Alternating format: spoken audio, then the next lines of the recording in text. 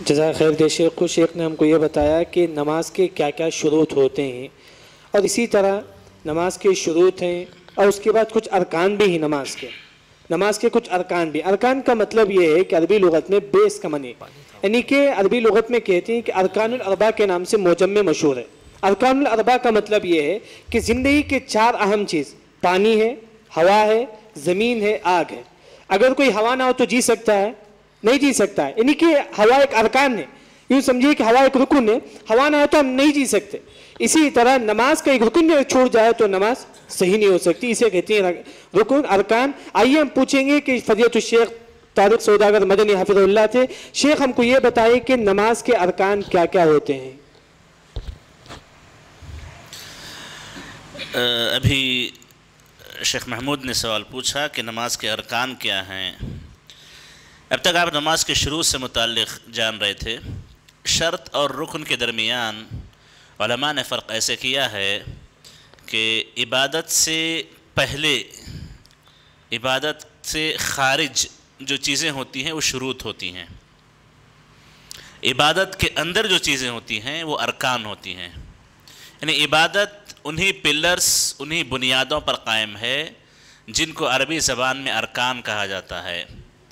جیسے یہ ٹیبل آپ کے سامنے ہے، اس کے دو رکن ہیں، یہ ایک کنارہ ہے، یہ ایک کنارہ ہے۔ یہ دو ہوں تو یہ ٹیبل اپنی جگہ باقی ہے۔ اور اگر یہ رکن نہ ہو تو اپنی جگہ باقی نہیں رہے گا۔ تو رکن ایک بنیادی چیز ہے، جس کا وجود، اس کی حقیقی وجود کی ضمانت ہے۔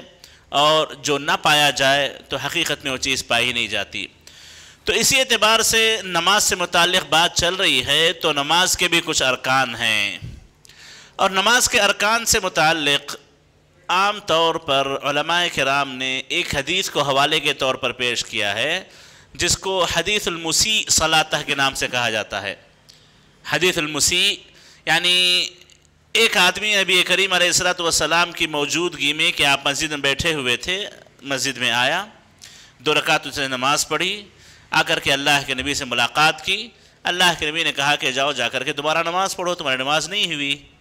وہ آدمی دوبارہ گیا، اس نے دوبارہ نماز پڑھی، پھر واپس اللہ کے نبی کے پاس سے آیا، اللہ کے نبی نے پھر اسے واپس بھیجا۔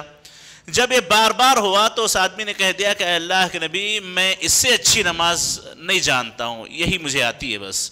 تو نبی کریم علیہ السلام نے اس وقت ان آدمی کو نماز کا پورا طریقہ سکھایا۔ اب اس نماز کے طریقے میں جن جن چیزوں کا تذکرہ نبی کریم علیہ السلام نے کیا ہے، وہ ارکان ہیں۔ جن جن چیزوں کا نبی کریم علیہ السلام نے تذکرہ کیا، علماء کرام نے اس حدیث کو ارکان سلاد کے لیے بنیاد بنایا ہے۔ اسی بنیاد پر جتنے ارکان ہیں بنتے ہیں، اس حدیث میں جن چیزوں کا ذکر ہے، وہ تمام کی تمام چیزیں ارکان میں علماء نے شمار کی ہیں۔ تو ارکان سلاد اگر ہم دیکھیں تو تقریباً چودہ ارکان ہیں۔ کسی بھی نماز کے چودہ ارکان ہوتے ہیں۔ سب سے پہلا رکن یہ ہے کہ آپ ٹہر کر کے نماز پڑھیں گے۔ اللہ ہے کہ آپ معذور ہیں ٹہر نہیں سکتے، تو بیٹھ کے پڑھیں گے، بیٹھ نہیں سکتے، لیٹ کے پڑھیں گے۔ اور اتنی بھی طاقت آپ کے پاس نہیں ہے، تو صرف اشارے بھی کر لیں۔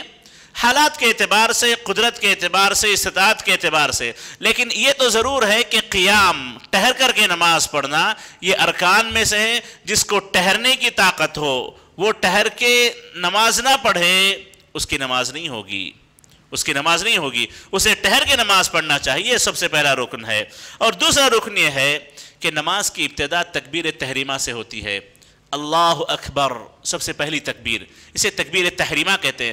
تحریمہ اس لیے کہ اس تکبیر کے کہہ دینے کے بعد دنیا کی تمام چیزیں حرام ہو جاتی ہیں۔ صرف اسے ذکر کرنا ہے اور نماز کے ارکان واجبات سنن مستحبات ادا کرنے ہیں کب تک؟ سلام پھیرنے تک۔ سلام پھیرنے تک۔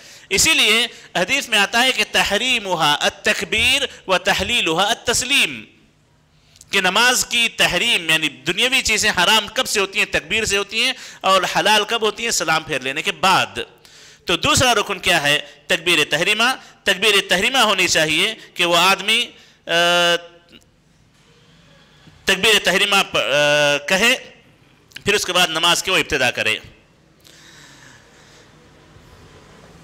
اس کے بعد مؤلف رضا اللہ جو تیسرا رکن بیان کیا گیا ہے، وہ سر فاتحہ کی قرت ہے۔ سر فاتحہ کی تلاوت۔ ہر رکعت میں سر فاتحہ لازمی ہے سر فاتحہ پڑھنا ضروری ہے۔ اور اکثر علماء اسی بات کے قائل ہیں کہ چاہے وہ اکیلا نماز پڑھے، چاہے وہ امام کے پیچھے نماز پڑھے، چاہے وہ نماز سری ہو، چاہے وہ نماز جہری ہو، ہر رکعت میں سور فاتحہ لازمی ہے۔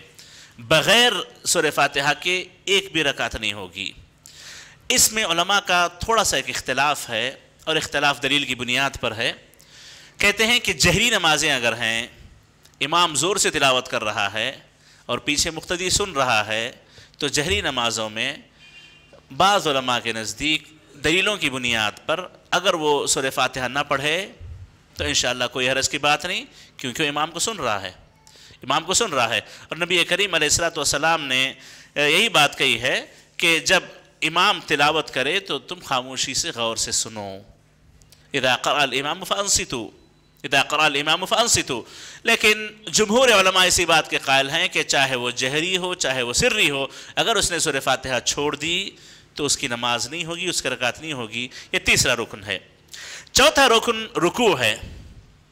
جب انسان رکوع کے لیے جھکے تو اس کا جھکنا اور رکوع کرنا، یہ رکن ہے۔ اور رکن کی ادائیگی سے نماز کی ادائیگی ہوتی ہے۔ اگر کسی رکعت میں بندہ رکوع ہی چھوڑ دے تو یاد رکھیں اس کی نماز نہیں ہوگی، اس کی رکعت نہیں ہوگی۔ اسی لیے بعض لوگ غلطی کر جاتے ہیں۔ نادانی کی وجہ سے، کمیلمی کی وجہ سے کسی جگہ امام بن جائیں، رکوع چھوڑ دیں، سجدہ چھوڑ دیں، تو سجدے سہو کے ذریعے اس کو مکمل کرنے کی کوشش کرتے ہیں۔ یہ بالکل غلط طریقہ ہے۔ اگر رکوع چھوٹ جائے تو اسے رکعت دہرانی ہے۔ سجدہ چھوٹ جائے تو اسے رکعت دہرانی ہے۔ تو رکوع ارکان میں سے ہے۔ ارکان الصلاط میں سے ہے، پلہ صاف نماز ہے تو اسے رکوع کرنا ہے۔ اگر رکوع چھوٹ جائے تو سجدے سہو کے ذریعے وہ مکمل نہیں ہوتا، بلکہ اسے رکعت دہرانی پڑے گی۔ اور پانچواں جو رکن ہے، الاعتدال من الرکوع۔ جب رکوع سے اٹھ کے ٹہریں تو اطمینان سے ٹہریں۔ اطمینان سے ٹہریں۔ احادیث میں آتا ہے کہ یہاں تک کہ تمام ہڈیاں اپنی جگہ پہ پہنچ جائیں۔ یہاں تک کہ تمام ہڈیاں اپنی جگہ پہ پہنچ جائیں۔ اپنی جگہ پہ پہنچنے سے مراد یہ ہے کہ اسے سکون مل جائے، اطمینان حاصل کر لے۔ نبی کریم علیہ السلام اتنا اطمینان حاصل کرتے کہ پیچھے والوں کو شک ہوتا ہے کہ شاید آپ سجدہ کرنا بھول گئے ہوں۔ شاید آپ سجدہ کرنا بھول گئے ہوں۔ اتنا لمبا اطمینان کیا کرتے تھے۔ اعتدال ہونا چاہیے، سکون ہونا چاہیے، اطمینان ہونا چاہیے اطمینان وہ حاصل کر لیں۔ یہ اطمینان ارکان میں سے ہے۔ اور نبی کریم علیہ السلام نے ان کی نمازوں کے تعلق سے جو اپنی نمازوں میں رکوع و سجود مکمل طور پہ نہ کرے اور اپنی پیٹھ کو صحیح طور پہ کھڑا نہ کرتے ہوں جیسے ہم عام طور پہ لوگوں کو دیکھتے ہیں، رکوع میں گئے۔ اٹھے بھی نہیں کہ فوری چلے جاتے ہیں سجدے میں۔ یہ ان کی نمازوں کے باطل کرنے والا عمل ہے۔ اس سے ان کی نمازیں ہی باطل ہو جائیں گی۔ اس سے ان کی نمازیں ہی باطل ہو جائیں گی۔ تو اعتدال من الرکوع یہ ارکان میں سے ہے۔ اور چھٹا جو رکن ہے، سجدہ کرنا۔ اور سجدے کی صفت جو نبی کریم علیہ السلام نے بیان کی ہے، سات ہڈیوں پر، پیشانی پر، ساتھ میں ناک کا حصہ ملا ہوا ہو، زمین پہ لگا ہوا ہو۔ یہ دو ہتھیلیاں ہیں۔ دو ہتھیلیوں پر، دو گھٹنوں پر اور پنجوں پر پیروں کے۔ یہ سات ہڈیاں ہیں، ان سات ہڈیوں پر رکو سجدہ کرنا یہ ارکان میں سے ہے، اور اگر کسی کا سجدہ چھوٹ جائے تو یاد رکھیں، اس کی وہ رکعت یا اس کی نماز نہیں ہوگی۔ اور ساتواں جو رکن ہے، دو سجدوں کے درمیان سکون کے ساتھ بیٹھنا۔ دو سجدوں کے درمیان سکون کے ساتھ بیٹھنا۔ اطمینان سے بیٹھیں گے، سکون حاصل کریں گے۔ اور جیسا میں نے بھی کہا کہ نبی کریم علیہ السلام اتنا لمبا یہ وقفہ آپ کا ہوتا اتنا لمبا آپ کا جلوس ہوتا کہ صحابہ کو پیچھے ڈر ہونے لگتا ہے، کہیں آپ دوسرا سجدہ بھول کر کے تشہد نہ شروع کر دیا ہوں۔ کہیں دوسرا سجدہ ذہن سے نکل نہ گیا ہو۔ ایسا وہم ہونے لگتا تو نبی کریم علیہ السلام اتنا لمبا سکون لیا کرتے تھے تو سجدوں کے درمیان اطمینان سے بیٹھنا یہ ارکان میں سے ہے اور جو اس میں خلل کرے اور جیسا میں نے کہا رکوع کے بعد ٹہرنا، سجدوں کے درمیان بیٹھنا، اس میں غلطیاں بہت ہوتی ہیں، اس میں غفلت بہت ہوتی ہے۔ کیا اہل، کیا احناف، بلکہ کئی اہل حدیث بھی اس کا شکار ہیں۔ کئی اہل حدیث بھی اس کا شکار ہیں جو ان جگہوں پر سکون سے کام نہیں لیتے، تو یاد رکھیں جب تک اس جگہ سکون حاصل نہ ہو، نماز مکمل نہیں ہوگی۔ اور اسی طریقے سے آٹھواں رکن، دوسرا سجدہ۔ پہلا سجدہ ایک رکن ہے، سجدے کے بعد اٹھ کر کے بیٹھنا، اطمینان حاصل کرنا ایک رکن ہے، پھر دوسرا سجدہ کرنا بھی ایک رکن ہے۔ دوسرا سجدہ کرنا، اور نواں ہے، آخری جو تشہد ہوتا ہے، چوتھی رکعت، اگر چار رکعت آپ پڑھ رہے ہوں تیسری رکعت کے بعد اگر آپ تین رکعت پڑھ رہے ہوں یا دو رکعت والا تشہد، اگر دو رکعت آپ پڑھ رہے ہوں، جو آخری تشہد نماز کا جو بھی ہوگا، اس کے لیے بیٹھنا یہ ارکان میں سے ہے۔ پہلے تشہد کے لیے بیٹھنا ایک الگ چیز ہے، واجبات سلاد میں سے اس کا ذکر ہوگا، لیکن ارکان سلاد میں تشہد اخیر، آخری تشہد جس پہ سلام پھیرا جاتا ہے، یہ رکن ہے۔ اگر اس میں نہ بیٹھے بندہ، اٹھتے ہی سلام پھیر لے، اس کی نماز نہیں ہوگی۔ اس کی نماز نہیں ہوگی۔ اور دسواں رکن، التشہد الاخیر یعنی التحیات للہ والصلوات والطیبات، جو پڑھا جاتا ہے، یہ رکن ہے۔ اگر اس کو چھوڑ کر کے کوئی بندہ درود پڑھ لے، صرف اتحیات نہ پڑھے، تو اس کی نماز نہیں ہوگی، رکن اس نے چھوڑ دیا ہے۔ اسے نماز دہرانی پڑے گی۔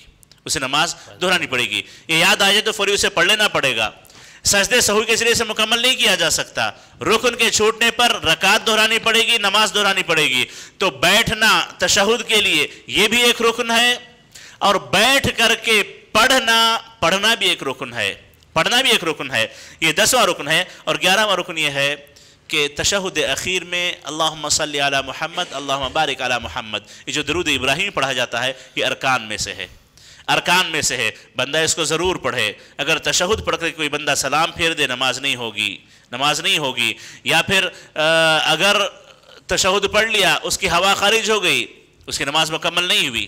اس کی نماز مکمل نہیں ہوئی۔ اسے تشہد کے بعد اتحیات کے بعد اسے درود ابراہیمی پڑھنا یہ ارکان میں سے ہے۔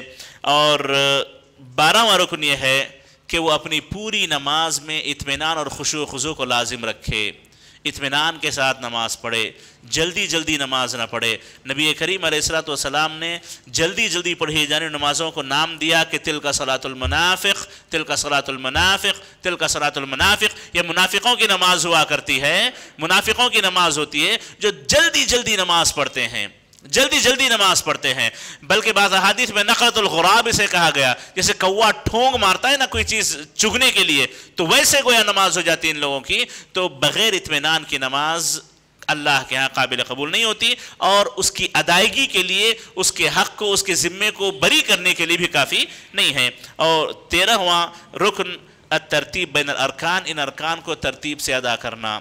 تکبیر تحلیمہ پہلے ہو، پھر سر فاتحہ کی تلاوت ہو، پھر اس کے بعد رکوع کریں، اٹھ کے کھڑے ہوں، سجدہ کریں، اٹھ کے بیٹھیں، پھر دوبارہ سجدہ کریں، پھر تشہد کے لیے اخیر میں بیٹھیں اتحیات پڑھیں، پھر اس کے بعد درود پڑھیں۔ یہ جو ترتیب ہے، ترتیب بھی ایک رکن ہے۔ اگر اس میں اونچ نیچ کر دیتا ہے اس میں کوئی اونچ نیچ اگر کر دے تو ایسے حالات میں اس کی نماز نامکمل کہلائی جائے گی اور آخری رکن یہ ہے کہ وہ نماز سے فارغ ہونے کے لیے سلام پھیرے سلام پھیرے، سلام پھیرنا یہ آخری رکن ہے، سلام کے ذریعے وہ نماز سے باہر نکلے گا، بغیر سلام کے نماز سے باہر نہیں نکل سکتا۔ تو چودہ ارکان ہیں اور ارکان کے تعلق سے آپ جان لیں کہ بندہ ارکان میں اگر کوتاہی کرے تو سجدے سہو کے ذریعے اس کو مکمل نہیں کیا جا سکتا، بلکہ اس کے لیے ضروری ہے کہ وہ اپنی رکعت یا نماز کو دہرائے وقت ضرورت حالات کے حساب سے۔ اور ارکان ہوں تو نماز مکمل ہے، ارکان میں کمی ہو تو نماز مکمل نہیں ہوگی۔ اللہ علم